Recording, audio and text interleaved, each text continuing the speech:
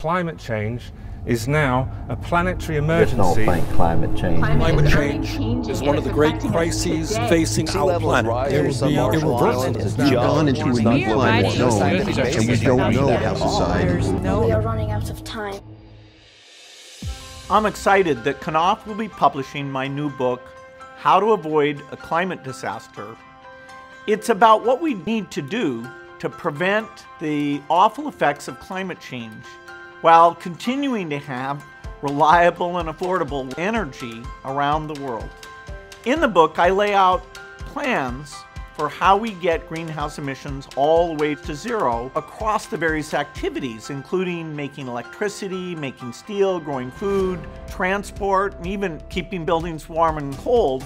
I explain how it can be done with no emissions. People who read the book will understand climate change better.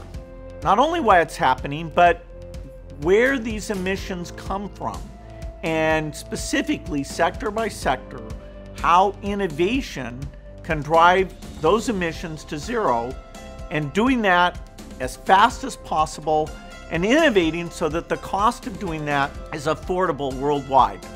I want readers to get engaged. I want them to know, as voters, policymakers, business leaders, they have a role. This is a book for anyone who cares about climate change. I'm excited that we'll get it out there, and I really appreciate uh, the support you're giving the book. It'll be exciting to work together uh, to get it out to the entire world.